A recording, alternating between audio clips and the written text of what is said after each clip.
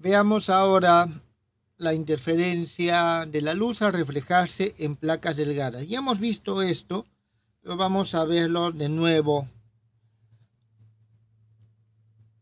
con un poco más de detalle. A ver, tenemos nosotros una placa delgada.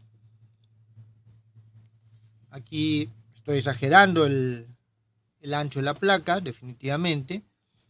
Y tenemos un rayo de luz que incide sobre esta placa. Entonces, el rayo de luz viene, incide sobre la placa. Muy bien. Cuando caes en la placa, se refracta.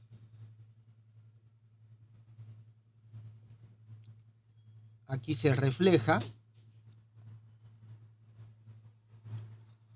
Y aquí se vuelve a refractar.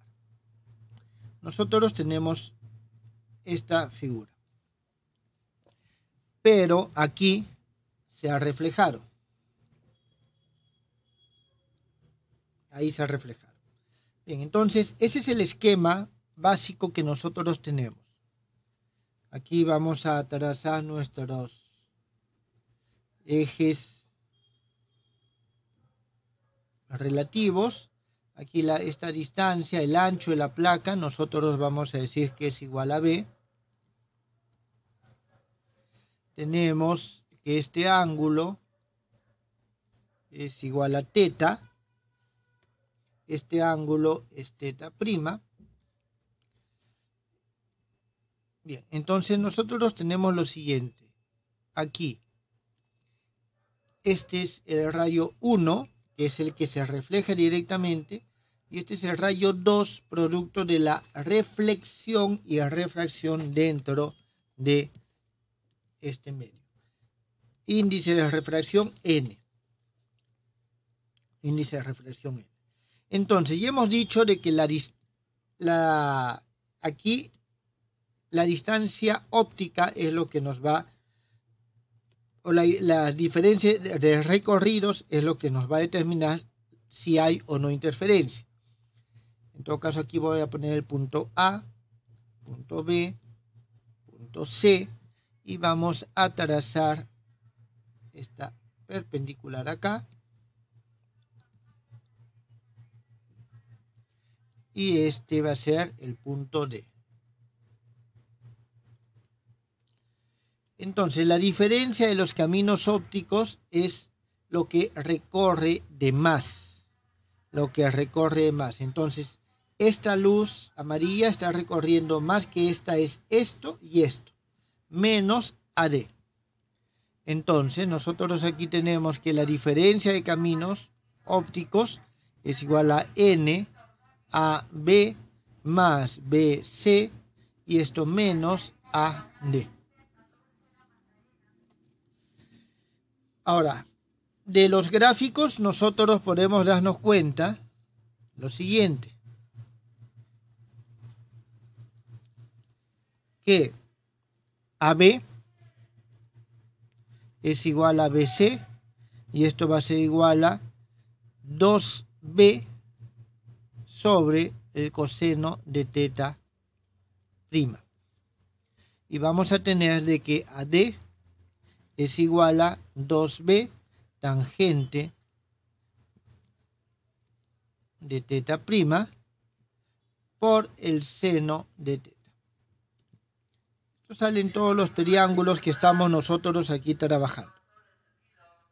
Entonces, juntando estos resultados, obtenemos que la diferencia de caminos ópticos es igual a 2nb coseno de teta prima. Esto no es ningún resultado nuevo. ¿Está bien? Esto no es ningún resultado nuevo. Aquí hemos utilizado también eh, la ley de Snell y otros aspectos más. Bien, vamos a ver lo siguiente acá. Aquí hay algo que es necesario tener en cuenta. Cuando se refleja de la superficie superior, ¿está bien? Nosotros vamos a tener que bueno, no, no lo hemos visto, hay que verlo más adelante, pero aquí cuando se refleja se da un cambio de fase. Voy a escribirlo aquí. Al reflejarse en la superficie superior, se da un cambio de fase. ¿Está bien? En cuanto ese cambio de fase es en pi. Hay un desplazamiento en pi. Hay un desplazamiento Y la onda reflejada, aquí lo voy a poner entre paréntesis y otro color, pierde, eso es relativo, una semi-onda.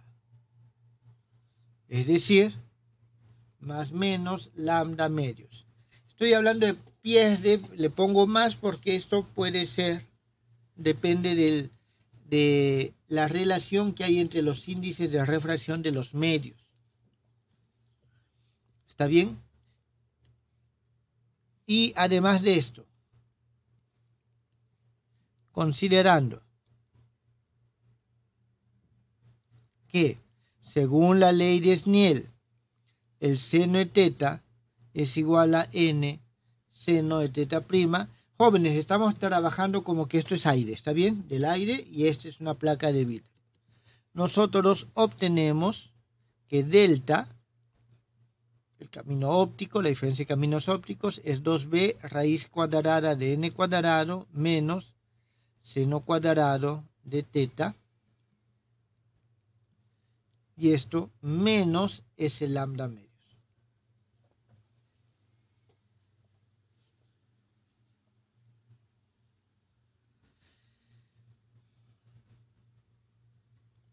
Realmente aquí podemos poner menos más y menos va a ser cuando el N2 es mayor que el N1 y más cuando el N2 es menor que el N1.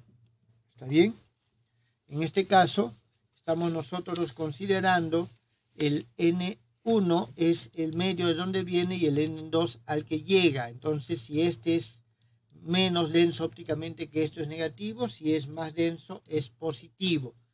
En nuestro caso, en nuestro caso, nosotros vamos a considerar el menos. ¿Por qué? Porque es del aire al vidrio. Del aire al vidrio. Entonces, esa es la consideración que nosotros estamos teniendo en este caso. Y esto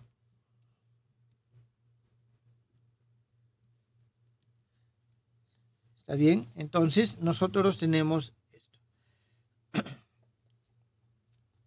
Entonces, estos dos que están acá, en principio van paralelos. En principio no se interceptan, por lo tanto no se interfieren. ¿Está bien? Entonces, tenemos esta reflexión. Normalmente aquí lo que se hace después se les concentra, estos rayos se les concentra por medio de alguna, algún lente. Entonces, el máximo aquí tenemos que los máximos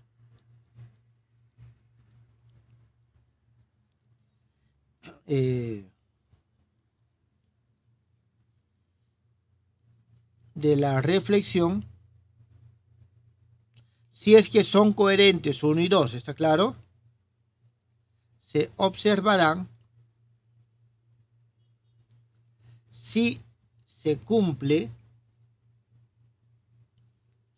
la siguiente relación, que 2b raíz cuadrada de n cuadrado menos seno cuadrado de teta menos lambda medios es igual a m lambda. Y este es el orden de interferencia. Si nosotros cambiamos el ángulo teta, nosotros vamos a poder ver los siguiente el cambio de mínimos a máximos de reflexión. ¿Esto está claro, jóvenes?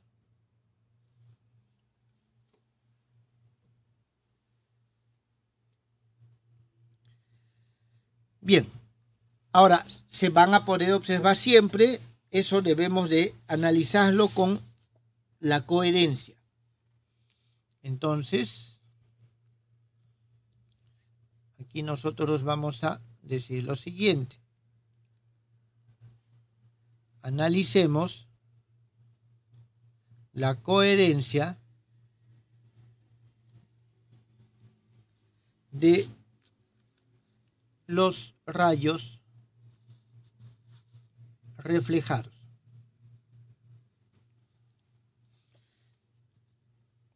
Entonces, primero, tenemos, ya hemos visto longitud de coherencia, tenemos el ancho de coherencia. ¿Está bien? Entonces, nosotros vamos a tener lo siguiente.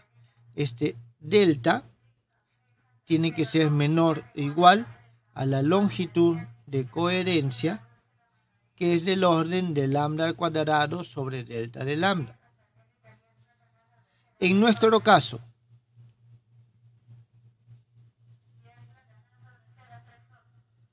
nosotros tenemos que delta es del orden de 2bn. ¿Está bien? Es de 2 y esto es menor que lambda al cuadrado debe ser delta de lambda. Es decir, nosotros vamos a apreciar la interferencia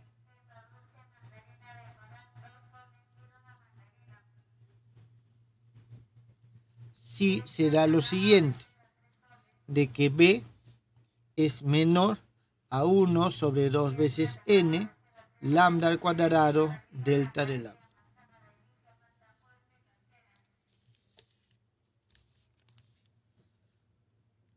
¿Esto está entendido, jóvenes?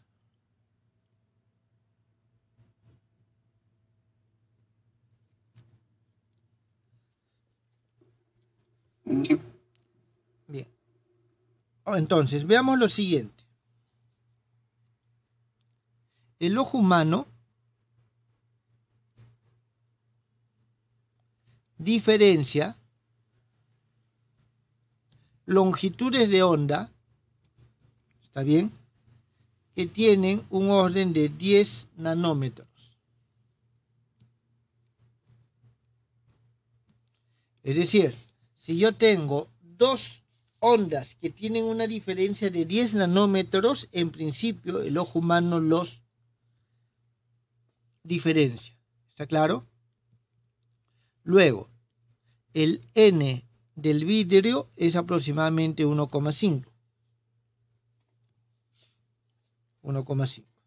Si nosotros consideramos una longitud de onda del orden de los 0,5 micrómetros, entonces todo esto nos dice que el B tiene que ser del orden, estoy poniendo, cambiando a una igualdad acá.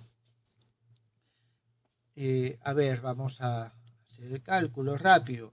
1 sobre 3 por 0,5 por 10 a la menos 6 sobre 10 a la menos 8. Entonces tenemos, a ver, esto se va, tengo menos 7, entonces tengo 5 por 10 entre 3. A ver, eh, aquí algo me está fallando. Está saliendo muy grande. No debe salir tan grande. Ah, es al cuadrado, disculpe. Ahora sí.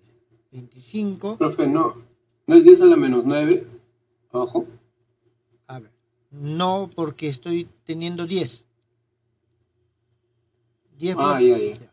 Pero aquí es al cuadrado. Entonces tengo 25 Entonces aquí tengo menos 14 y menos 8, menos 6. Ahora sí, 25 tercios. Esto es aproximadamente igual a 8,30 micrómetros. Es decir, para poder apreciar la interferencia en una placa delgada tiene que ser de, ser de 8,30 micrómetros. Entonces tiene que ser una película muy, pero muy delgada.